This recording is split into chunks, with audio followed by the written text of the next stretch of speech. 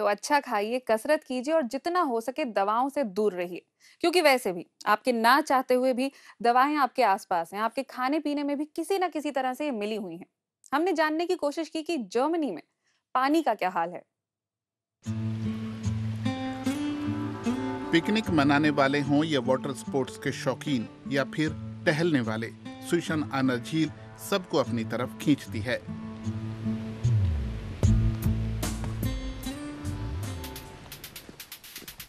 लेकिन जर्मनी की इस लोकप्रिय झील में बैक्टीरिया की कई रेसिस्टेंट किस्में मिली हैं।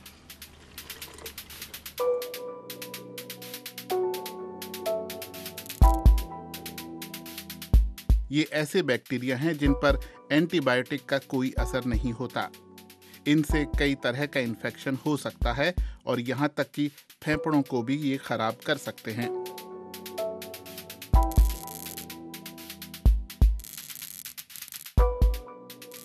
ये बैक्टीरिया सबसे ज़्यादा वहाँ फैलते हैं जहाँ एंटीबायोटिक्स का इस्तेमाल अधिक होता है, यानी अस्पतालों में और जानवरों के फार्म में।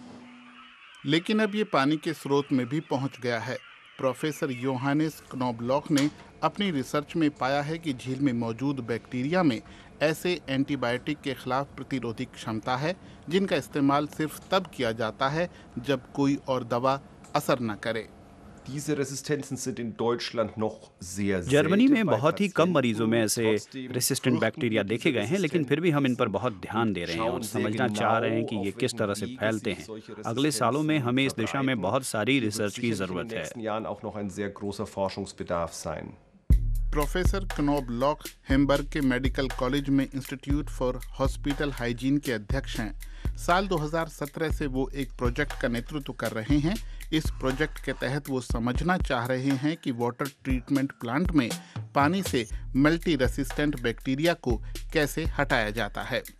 उन्होंने पाया कि ज़्यादातर प्लांट्स बैक्टीरिया को कुछ हद तक ही हटाने में कामयाब रहते हैं, खासकर अस्पतालों और जानवरों के फार्म के आसपास मिलने वाले पानी के स्रोत से। जोरदार बारिश के बाद बैक्टीरिया सबसे ज़्यादा संख्या में मिलते हैं। ऐसा इसलिए क्योंकि बारिश के पानी के साथ साथ नालों का पानी भी नदी और तालाब में पहुँच जाता है। इसके अलावा पक्षियों के ज़रिए भी पानी में मल्टी रेसिस्टेंट बैक्टीरिया पहुँच सकते हैं। अच्छी बात यह है कि ये बैक्टीरिया बहुत लंबे समय तक पानी में ज़िंदा नहीं रह पाते, लेकिन ये समस्या का समाधान तो नहीं। बैक्टीरिया की प्रतिरोधी क्षमता खत्म हो जाती है या नहीं ये हम नहीं जानते। बैक्टीरिया एक दूसरे से रेसिस्टेंस ले सकते हैं और ऐसा हो सकता है कि किसी दिन उन बैक्टीरिया के अंदर प्रतिरोधी क्षमता पहुँच जाए जो इंसानों को बीमार करने के लिए जिम्मेदार होते हैं। अगर ये बैक्टीरिया उन बैक्टीरिया को अपनी क्षमता दे देते हैं जो इंसानों को बीमार करते हैं तो ऐसे में उन पर किसी भी एंटीबायोटिक का असर नहीं होगा। और पानी में ऐसे जीवों की मात्रा जितनी बढ़ेगी, ये खतरा भी उतना ही बढ़ता रहेगा। बैक्टीरिया में प्रतिरोधी क्षमता इसलिए भी बनती है क्योंकि एंटीबायोटिक का गलत और ज़रूरत से ज़्यादा इस्तेमाल किया जाता है।